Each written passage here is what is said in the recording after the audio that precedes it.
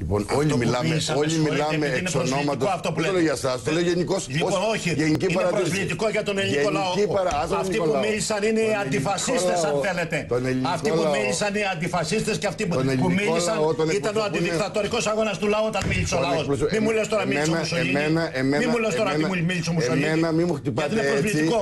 Δεν σε- Δεν χτυπάω Μη σε μου εσάς. χτυπάτε Δεν εμένα χτυπάω έτσι. σε εσάς.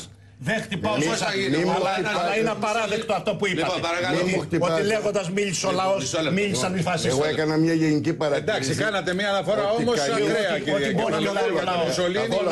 Ο λαός στην Ελλάδα μίλησε Θέλω να παράκα πω- μίλησε το Αφήστε τον να 73. μιλήσει, κύριε. Δεν θα του υπαγορεύσουμε. Θέλω να τα λέει. πω, θέλω Ακραίο να όμως πω είναι τώρα ότι να μιλάει για όλοι- Μουσολίνη, κύριε. Θέλω να, μίλησε πω, θέλω να πω ότι όλοι μιλάνε εκ μέρους του λαού και δυστυχώς αυτοί που μίλησαν περισσότερο είναι οι φασίστες. Λοιπόν, αφήσω μετά εκ μέρους πάλι του τα λαού. ίδια. Δεύτερον, ο κ. Πετράκο τα ίδια. να μην μου χτυπάει το χέρι εμένα. Είπα δεν σας χτυπάω το χέρι. Ποτέ, γιατί θα το κόψω. Για ποια έννοια θα το κόψω, πολιτικά θα το Μπράβο, κόψω ναι. το χέρι. Με ποια έννοια, διότι όταν η δικιά μου οικογένεια κυκλοφορούσε με το όχι δικτατορία, πολλοί βέβαια και από τη δικιά του παράταξη, αλλά πολλοί επίσης κρυβόταν στις φούστες της μάνας τους.